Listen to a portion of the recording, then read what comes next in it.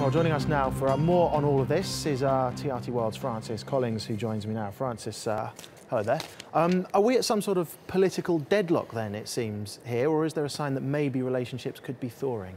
It, it's a complicated scenario simply because, and we don't know exactly where they're at, but there are uh, talks that have made an awful lot of progress towards the reunification of Cyprus. It's been partitioned, it'll be 42 years this June.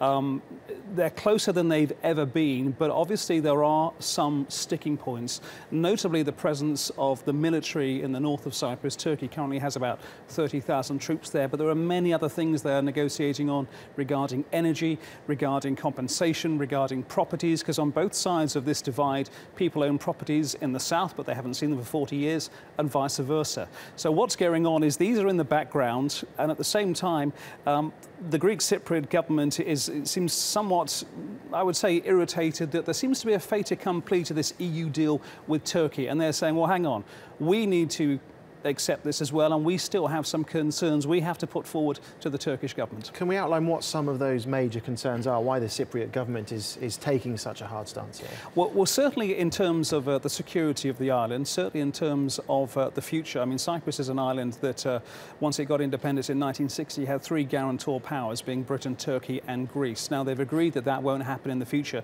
because it's seen as being an excuse for some sort of intervention, possibly. They want to nail down exactly where they are regarding regarding security. They want to nail down the compensation. Um, but we have a situation now where Turkish registered ships, for example, don't dock, sorry, Cypriot, uh, Greek Cypriot registered ships don't dock in Turkish ports the airports don't communicate, for example. All these things have to be sorted out, but they don't want it to be sorted out uh, unless it's, it's a proper deal. Now, Cyprus is going to a referendum later this year, possibly on this deal.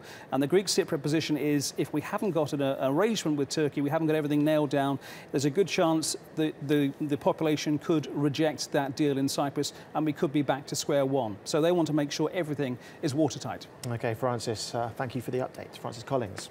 Thanks.